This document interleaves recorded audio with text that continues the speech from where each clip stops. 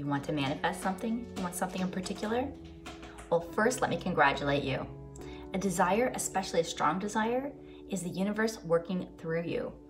The source, the creator, the universe wants to give you the object of your desire so that you can be inspired and do actions that lead to a better world.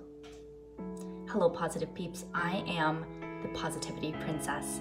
My name is Lori, and I'm here to teach you a very short five lesson course called Manifestation 101. If you're excited to manifest your dream desires, click that like button and comment below. I'm excited to manifest my desire. This is a method that you can use to manifest a concrete object or thing into your life. Anything that can come into your head already exists, either in reality or in potential. Thoughts are energy, and everything else is energy too. For a thought to become a thing, it just needs to go through a process called transmutation. I will show you how to do this in this five day series. I'm going to encourage you to choose something small to begin but really, any size item is doable as the universe does not distinguish between small or large items. It's the confines of your own mind that create limitations. Okay, enough talk. This five part video series will run all week, Monday to Friday at 10 a.m. Eastern Time. You will powerfully send your desires out, and at the end of the five days, we will release the desire. We will detach and then it will be on its way. Some will see results within the week, Others, it will take a little bit longer. That's the beauty of this. A lot of surprises. Okay, click that subscribe bell and notification. It's very important. I don't want you to miss the next step of this process.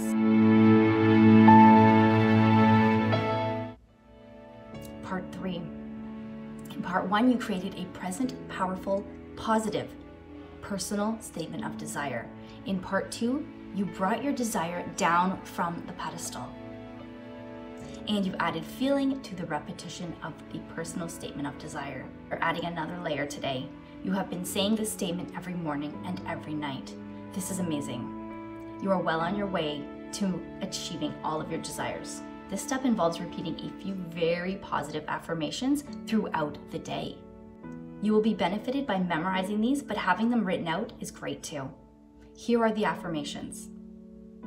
If you'd like to close your eyes and listen to them, that's okay, or just listen. I have a great understanding of the law of the universe. I have a great understanding of the law of attraction. Everything works out for me. The universe is friendly. The universe is conspiring in my favor. Everything works out the way it is supposed to.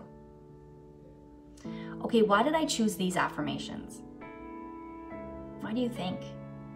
These affirmations are made to help you have faith in the universe in the law of attraction and in your own ability to use the law of attraction effectively in your own favor. You are powerful. You are able. You may not have fully realized it. Anyone can manifest anything they desire, including you. This was part three of your Manifestation 101. Tomorrow will be part four. Okay, everyone, I'm so excited that we are doing this. You are going to be a manifestation maniac really soon. Type in the comments below I'm a powerful being, and you are. You can have anything you desire. If one person can do it, so can you. I hope you know this. If you are new to the law of attraction, I would like to mention that I led everyone here on YouTube through a 30 day law of attraction crash course for beginners. I've posted a link to that playlist. It's a great place to start. Okay, thank you for watching.